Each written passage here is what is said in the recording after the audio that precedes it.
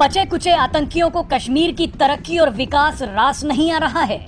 जिस वक्त दुनिया के कई देश कश्मीर में निवेश करना चाहते हैं, ठीक उसी वक्त आतंकवादी माहौल बिगाड़ने का काम कर रहे हैं। आपको बता दें कि हाल ही में कश्मीर में अचानक पुलिस कर्मियों और सैन्य कर्मियों पर हमले बढ़े हैं। आतंकियों और उनके बहकावे में आए कुछ स्थानीय लोगों ने अब भेस बदलकर सुरक्षा बलों पर हमले शुरू कर दिए हैं।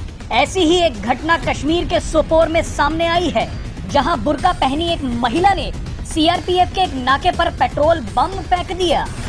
संदिग्ध महिला ने पहले पेट्रोल से भरे बैग को जलाया और फिर सुरक्षा बलों पर उसे फेंक दिया। ये घटना सीसीटीवी में कैद हो गई। राहत की बात तो यह है कि इस घटना में किसी के हताहत होने की खबर नहीं है।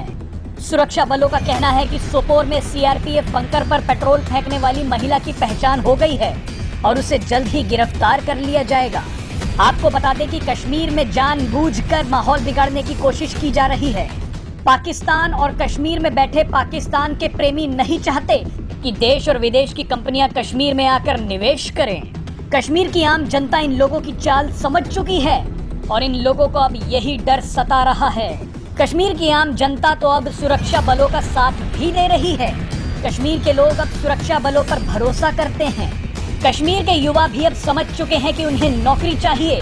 हाथ में पत्थर नहीं। बस इसीलिए बचे कुचे ये खतरनाक लोग साजिश रच रहे हैं।